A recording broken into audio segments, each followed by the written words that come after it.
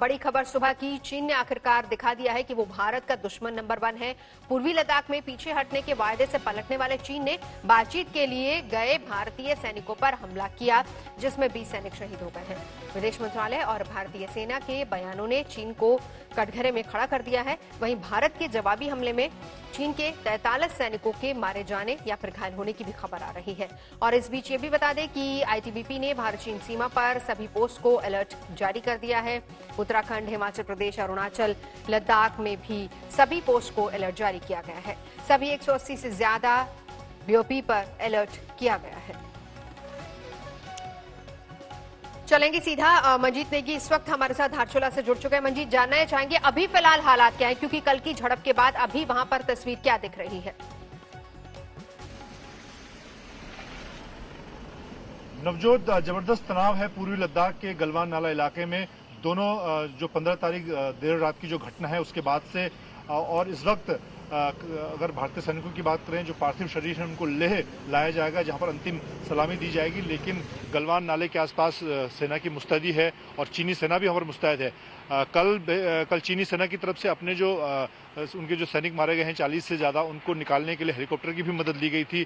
लेकिन अभी हमारी तरफ़ से अगर बात की जाए तो जो टॉप कमांडर्स हैं, वो भी मौके पर मौजूद हैं। और यहाँ पर दिल्ली में थोड़ी देर बाद 10 बजे रक्षा मंत्री राजनाथ सिंह भी बैठक लेने वाले हैं तीनों सेना प्रमुखों और सीडीएस के साथ।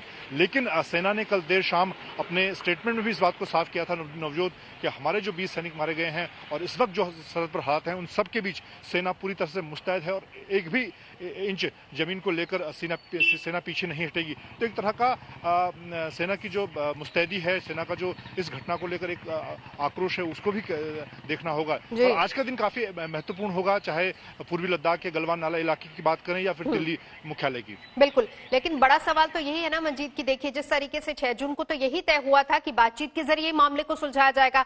हमारी तरफ़ से तो बातचीत के ज़रिए मामले को सुलझाने के लिए कदम आगे बढ़ रहे थे लेकिन उधर चीन पूरी तैयारी के साथ बैठा था। अब बड़ी बात यह है कि केंद्र में भी इसको लेकर अब बातचीत हो रही है। हिमांशु हमारे सहयोगी उस पर नज़र बनाए हुए हैं। हिमांशु, कल भी मैराथन बैठकें चली हैं। रात भर प्रधानमंत्री और गृह मंत्री दोनों के बीच अलग से भी बैठक हुई है। क्या कुछ निकलता सामने आ रहा है?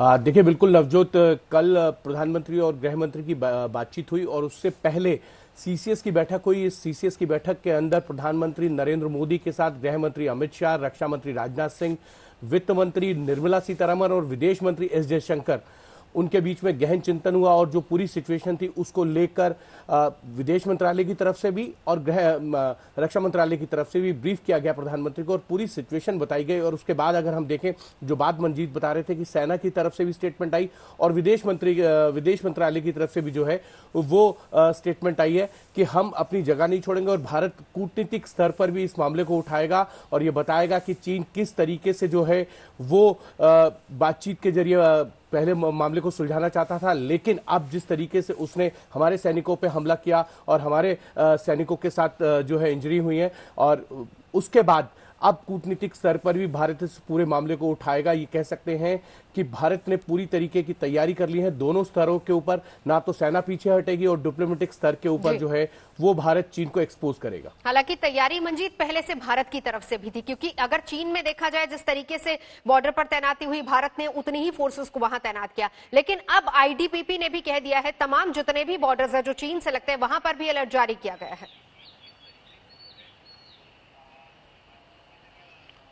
नवजोत, मैं इस वक्त धारचूला हूँ, जो चीन से लगने वाली सरहद है, और यहाँ पर भी पिछले दो दिन से देखें, और खासतौर से कल की घटना के बाद सेना की जो आवाजाही है, वो बढ़ी है। हालाँकि पहले से ही, क्योंकि भारत को चीन की सेना की इस बात की आशंका थी, और न सिर्फ़ पूर्वी लद्दाख, बल्कि हिमाचल, उत्तराखंड, सिक्किम और अरुणाचल तक लगने वाली जो सरहद है चीन से, उस पर अतिरिक्त ब्रिगेड लगाई गई थी, सेना की अतिरिक्त डिवीज़न की तैनाती की गई थी तो वो आशंका, और सेना एजेंसियों को इस बात की आशंका आशंका भी है कि चीन न सिर्फ़ पूर्वी लद्दाख बल्कि दूसरे सेक्टर में भी अपनी सेनाओं को एक्टिव कर सकता है। तो उसकी तैयारी सेनाओं ने पूरी तरह से की है। एक तरह से कहते हैं कि कह सकते हैं कि युद्ध जैसे जो जो, तैयारी होती है सेना की उस स्तर की तैयारी इस वक्त की हुई है।